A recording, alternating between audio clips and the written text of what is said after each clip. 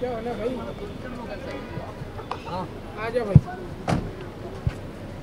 तुम्हारा रोज एकटं व्हायला माझे आपल्यासोबत अकोला पश्चिमचे आमदार आहेत जे जे एकूणच साध्या विचारसरणीचे मानले जातात. साध्या आणि सोप्या याच्यावर अकोल्यामध्ये देखील आपल्याला फिरताना हे आमदार बघायला मिळतात. शर्मा सर आपल्यासोबत आहेत. आपण त्यांच्याशी या संदर्भात बातचीत करूया.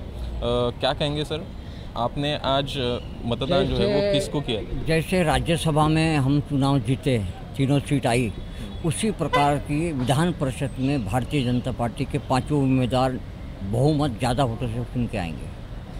पिछले बार जैसे हमने देखा था वैसा कोई चमत्कार जो है वो इस बार भी देखने को मिल सकता है? नहीं हमारे पास संख्या है उतनी ऑलरेडी कित, कितनी संख्या है? संख्या हम बता नहीं सकते पर हमारे पाँचों उम्मीदवार चुनाव जीतेंगे बहुमत से। एक बार देखा जाए तो देवेंद्र फडणवीस का पिछले बार बोलबाला जो है वो देखने को आपने मिला था। इस बार फडणवीस का बोलबाला जब तक चलेगा देवेंद्र फडणवीस ज़िंदा है जब तक उसका बोलबाला चलने वाला है। अ, आप एक एक आखिरी सवाल। अकोला से आप चुन के आते हो। इस बार जो पूरा विदर्भ का माहौल कैसा रहेगा? आने वाले जो महापालिका इलेक्शन है उसको आप किस तरह से देखते महापालिका में भारतीय जनता पार्टी की सत्ता आएँगे।